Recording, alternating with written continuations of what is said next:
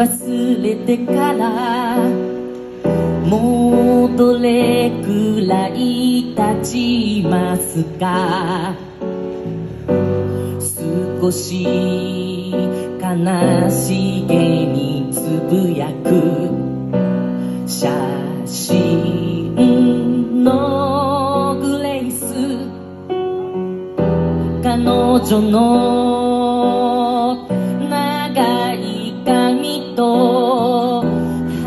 しい歌が好きでした。いつし刀の片隅に眠る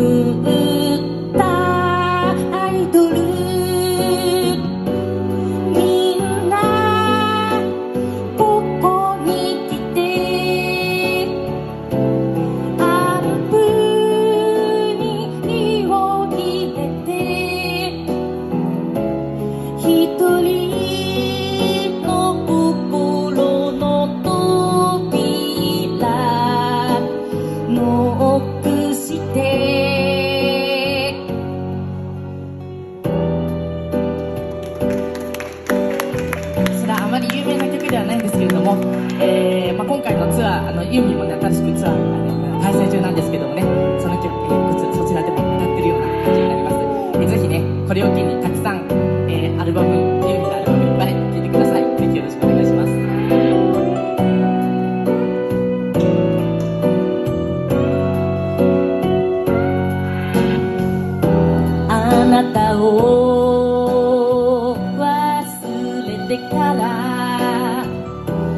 いろんな人を傷つけてそれさ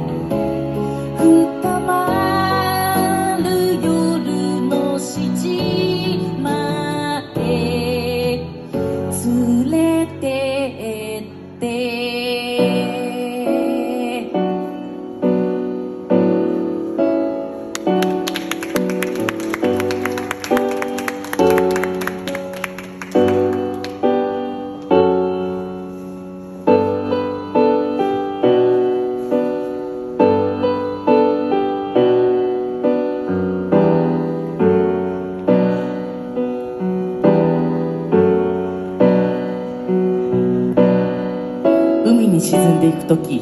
私は一瞬自由になった気がした。気流に乗って羽ばたかずに飛んでいる鳥のように青い空が揺れていた。ふと音が聞こえた。それはいつも聞いてきたようなやってくる音ではなかった。鼓膜を揺らすようないや鼓膜の中から出ていくような不思議な音。音はゆっくりゆっくりと低くなってそれとともに空は暮れていった。